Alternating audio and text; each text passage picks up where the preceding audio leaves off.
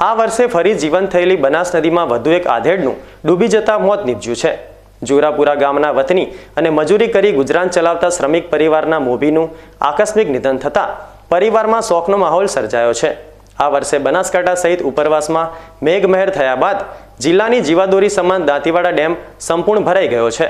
જોકે ઉપરવાસમાં વરસાદનું પ્રમાણ વધુ રહેતા દાંતીવાડા ડેમની સપાટીમાં ઉત્તરોત્તર વધારો થવાની ડેમની નિયત કરેલી જળ સપાટી બાદ વધારાનું પાણી બનાસ નદીમાં છોડાઈ રહ્યું છે. જોકે પાણી છોડાયા પહેલા અને બાદમાં પણ વહીવટી તંત્ર દ્વારા વારંવાર સૂચનાઓ આપી લોકોને નદીના પટમાં ન જવા તાકીદ કરાઈ છે. તેમ છતાં લોકો તંત્રની સૂચનાને અવગણી નદીમાં નાહવા જતા હોવાથી નદીમાં ડૂબવાથી આશાસ્પદ જિંદગીઓ મોતને ભેટી રહી છે. ત્યારે બુધવારે સાંજે બનાસ નદીમાં વધુ એક આધેડ ડૂબી જતા અરેરાટી મચી છે. ડીસા તાલુકાના જોરપુરા ખાતે રહેતા અને કડિયાકામ કરતા હરજીજી ભાઈચંદજી ઠાકોર નામક પિસ્તાલીસ વર્ષીય આધેડ બુધવારે બનાસ નદીમાં નાહવા પડ્યા બાદ પાણીમાં ડૂબી જતા તેમનું મોત થયું હતું.